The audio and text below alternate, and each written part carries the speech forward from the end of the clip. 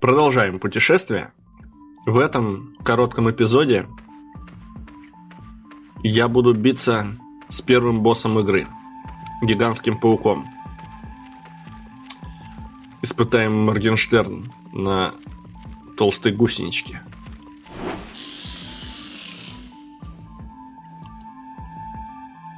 Очень хорошо.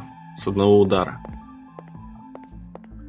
Так вот, для того, чтобы добраться до первого босса игры, нужно пройти в храме через двери, окутанные паутиной. И пока у нас нет магии огня, с этой паутиной мы справиться никак не можем. Вот эти двери, рядом ползает паук. Очень агрессивный. Но одного удара булавы хватает и агрессивному пауку. Вот двери. Фаерболом сжигаем паутину на них.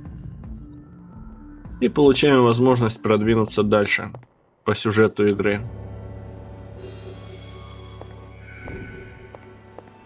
Впереди нас ждет еще целый коридор, окутанный паутиной.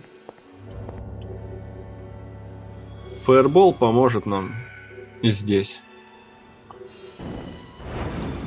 Выстрелить магией я могу только когда синяя шкала заполнится до конца. Вот тут вот не буду рисковать, а то попаду в паука вместо паутины.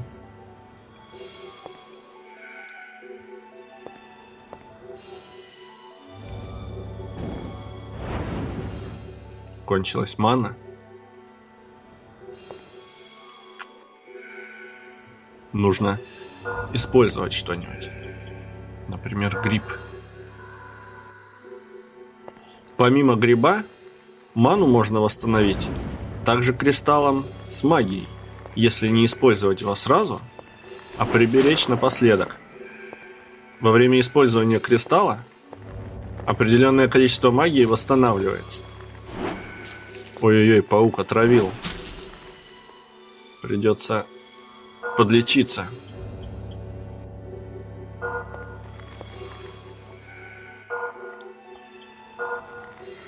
Пауки мало того, что наносят неплохой урон, так еще и отравить могут.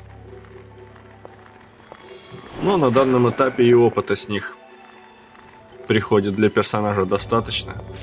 Вот только что уровень поднялся.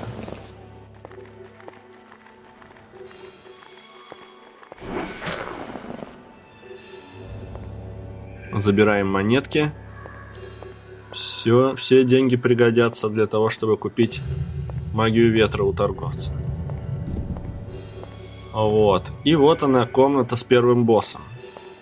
Если бы мы сначала зашли в комнату слева, в которой сидит одинокий рыцарь, и поговорили с ним, а потом пришли сюда, как делают многие игроки, увидели, что нам не хватает одного ключа, вернулись в комнату с рыцарем.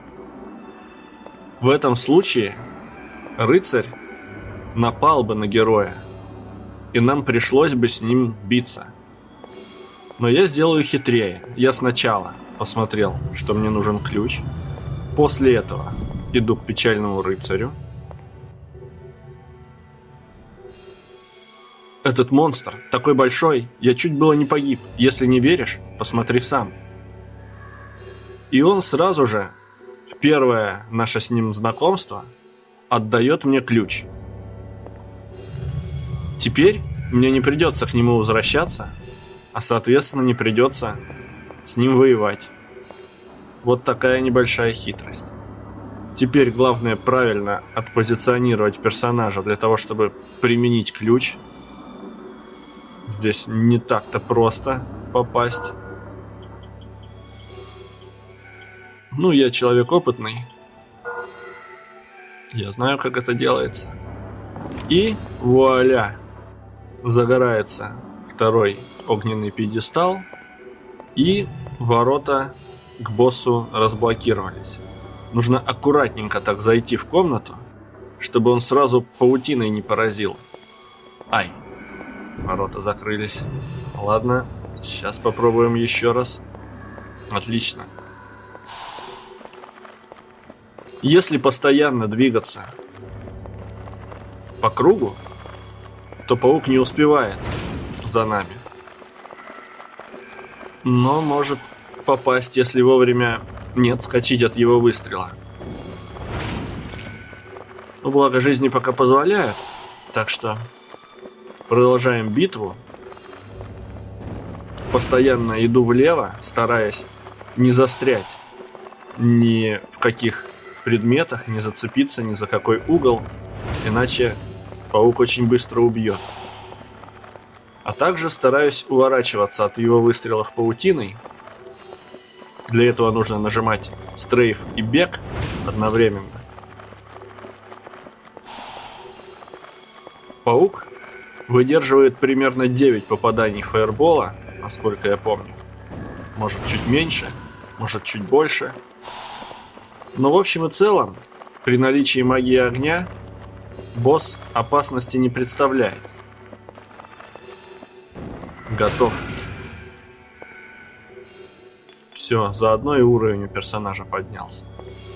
И вот кристалл магии воды, выпавший из паука.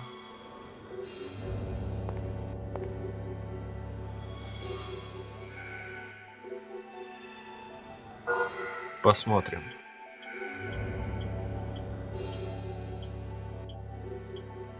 Вот он, кристалл воды, помогает изучить новую магию.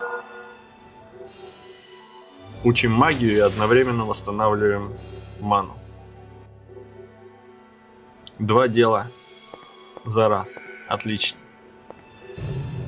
Босс побежден. Но прежде чем продвигаться дальше, катакомбы монастыря, я хотел бы еще кое-что сделать. Сохранимся пока. Метка. Пока что использовать ее не можем.